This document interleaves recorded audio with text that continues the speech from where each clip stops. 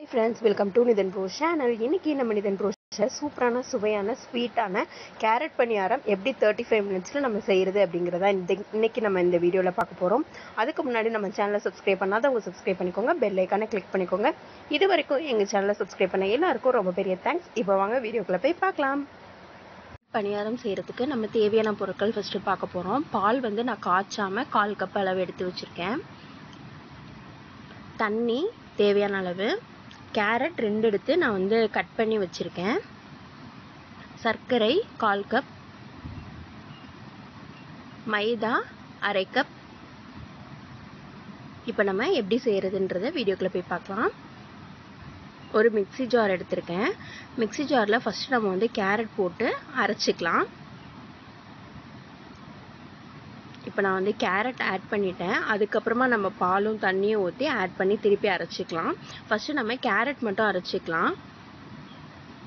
இந்த மாதிரி நான் வந்து கேரட் ஃபஸ்ட்டு அரைச்சிக்கிட்டேன். இதில் நம்ம வந்து பால்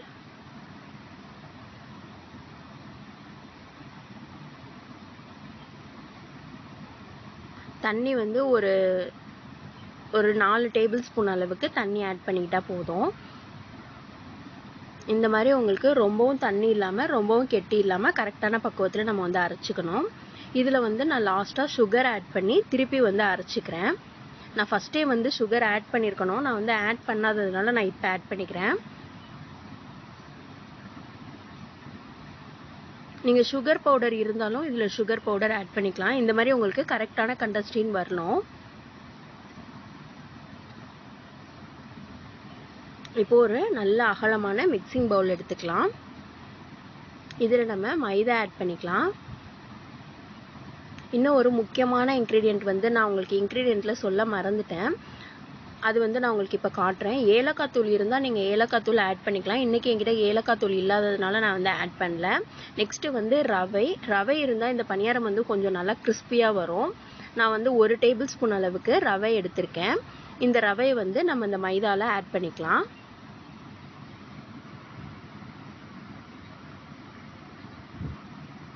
இதில் நம்ம அரைச்சி வச்சுருந்தோம் இல்லையா? கேரட் பேஸ்ட் அதை வந்து கொஞ்சம் கொஞ்சமாக ஆட் பண்ணி நம்ம வந்து பபுள்ஸ் பபுள்ஸாக இல்லாமல் கெட் கட்டி கட்டியாக இல்லாமல் நம்ம வந்து நல்லா மிக்ஸ் பண்ணிக்கலாம்.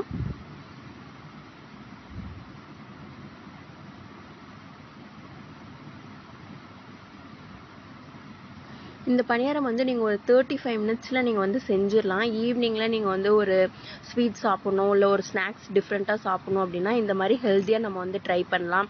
வீட்டுக்கு வந்து கெஸ்ட்டு வராங்க அப்படின்னா நம்ம வந்து அவங்கள அட்ராக்ட் பண்ணுறதுக்கு இந்த மாதிரி கலர்ஃபுல்லாக வந்து நம்ம ஒரு பணியாரம் ரெடி பண்ணி கொடுக்கலாம். இந்த மாதிரி உங்களுக்கு அதிரசம் கந்தரப்பம் ஸ்டேஜும் உங்களுக்கு அந்த மாவு பக்குவம் வரணும்.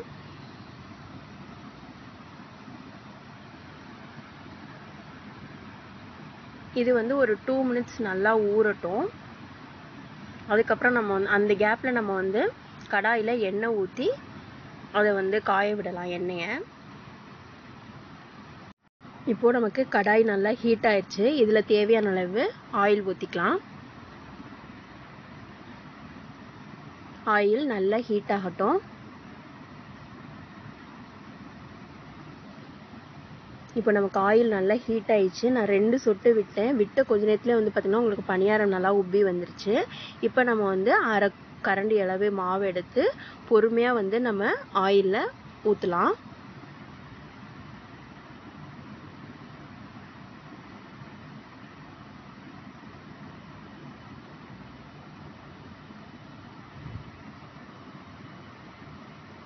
நம்ம பொறுமையாக வந்து பணியாரத்தை திருப்பி விடணும்.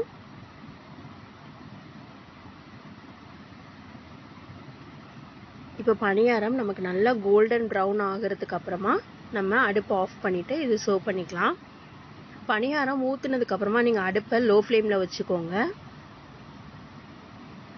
இப்போது நமக்கு நல்லா கோல்டன் ப்ரௌன் ஆயிடுச்சு. இப்போ அடுப்பை ஆஃப் பண்ணிவிட்டு பணியாரத்தை நம்ம எடுத்துடலாம். பார்க்குறதுக்கே ரொம்ப கலர்ஃபுல்லாக இருக்குது